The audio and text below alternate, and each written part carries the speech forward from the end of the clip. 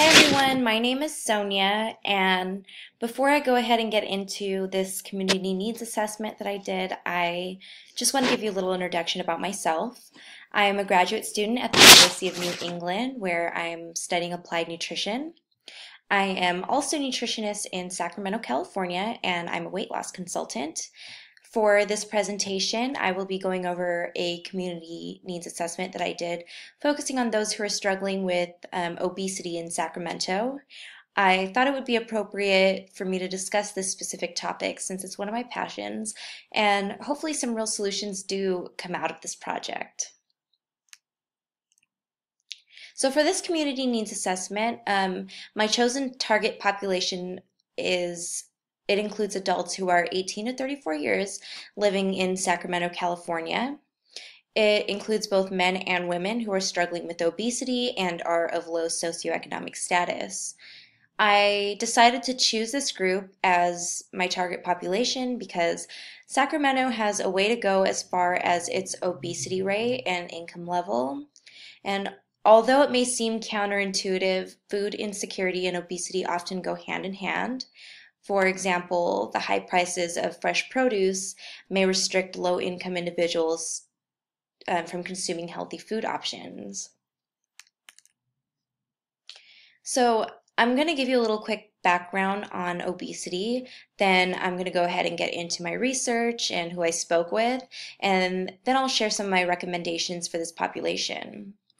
So, Obesity is a global epidemic and it affects individuals of various backgrounds.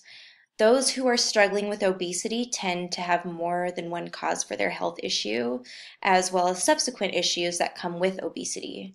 For example, um, poverty may cause stress, which then may cause emotional eating and depression.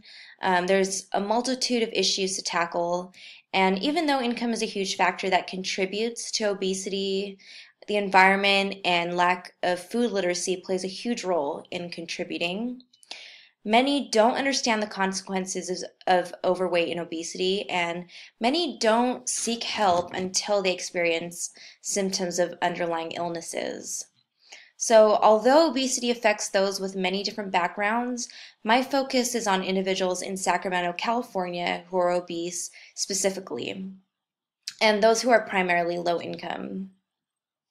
Um, now, the reason why I chose this target population is because, firstly, this community um, I personally love to work with, but mostly because it is um, a community in need. According to the California Department of Public Health and Nutrition Policy Institute, um, the prevalence of adult obesity in Sacramento rose from 21.8% in 2001 to 29.1% in 2013 2014. This indicates a need for obesity awareness in this city. Um, I'll start off by telling you a little bit about how my how I did my research, um, and then um, I'll get into my chosen target population, and um, yeah, and then I'll give you some of my recommendations. Sorry. So I did a lot of research for this community needs assessment. I mostly got my information and um, did research through two key informants within the Sacramento community, as well as online research where I gathered um, data and information from scholarly peer reviewed research articles. Um, I want to give you the background of my key informants.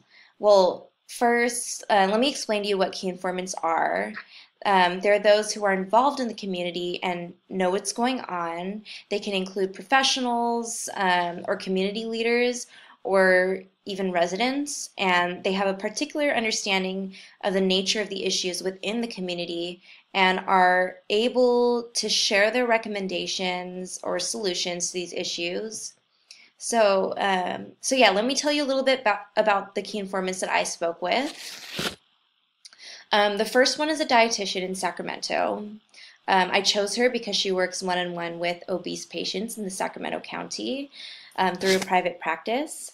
She also travels to different countries and helps to find solutions um, to health issues that they may have. And as a part of her traveling job, she learns about many different cultures. This really stood out to me because Sacramento is a diverse city where obesity affects many um, different populations. Different cultures have different understandings of health and obesity, along with issues that may come along with it. And uh, my second key informant um, is a director of a food bank in Sacramento. Her mission is to feed and educate underprivileged individuals and families in this region. And one of her focus areas is helping those who are struggling with obesity due to low income and, and poverty. So why did I do this research? Well, currently an estimate of 22% of individuals in Sacramento are in poverty. In addition, there's language barriers when it comes to food literacy and healthcare due to the vast cultural differences um, of the rough 495 234 residents of California of Sacramento, California. 22.5% are foreign born and about 37.2% speak a language other than English. These concerns altogether were my motives for choosing this target population. From research, I've found that there are a lot of common concerns within this particular community of interest. Some of those being lack of education, affordable health, such as nutrition and physical activity resources, as well as language barriers. Gyms alone can be unaffordable for those who are struggling with income. So there's a huge need to educate those individuals how to gain the recommended amount of exercise um, from inexpensive or free places. There are some gaps within the services that are offered, such as the need for more education, even incentives to influence these individuals to learn about health. My mission or objective um, is to educate my target population on resources that are available as well as how to be healthier on a budget. But in order to get there, there really needs to be an in depth understanding of this population and um, a breakdown and break down some of the recommendations to ultimately get to that goal. So for my key informant interviews and research, um, three recommendations were established that would serve to reduce the rate of obesity in Sacramento. The goal of these recommendations is to help promote healthy nutrition and weight loss as conveniently as possible for low-income individuals. Um, the first recommendation is to provide more services that cater to non-English speakers to reach more people in need.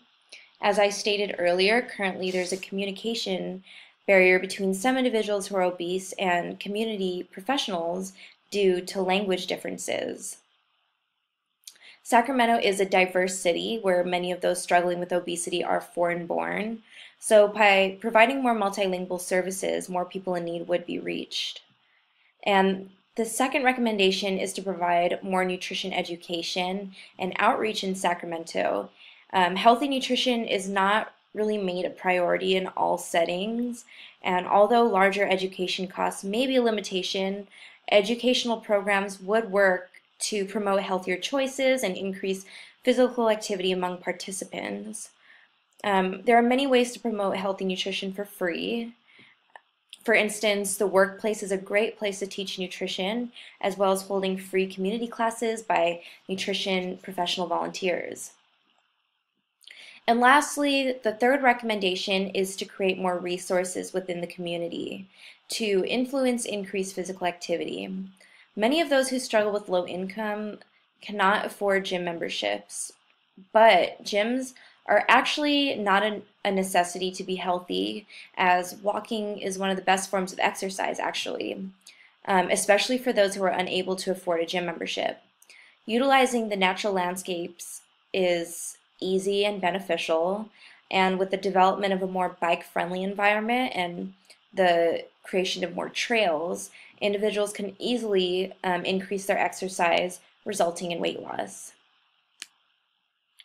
So, along with the recommendations I um, came up with, there's still some other needs that I just wanted to address. Um, and it's just on a bigger scale to make a bigger change. So those three recommendations are really to help this group on a more personal level or one at a time.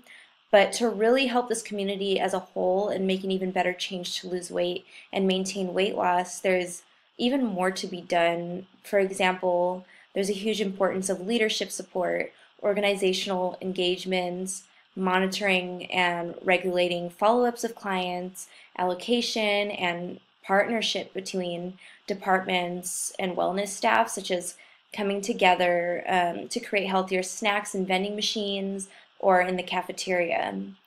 Um, the community and especially community professionals really need to come together to make an even bigger change. And um, in conclusion, as the rate of obesity continues to rise, there is still a growing recognition of the importance of community outreach and the change of environmental factors that contribute to this public health crisis. This research um, sought to explore the role of health professionals in solving this health issue, as well as any gaps that may be filled to overall create a healthy environment for all populations. So that is it for this presentation. Um, thank you so much for watching.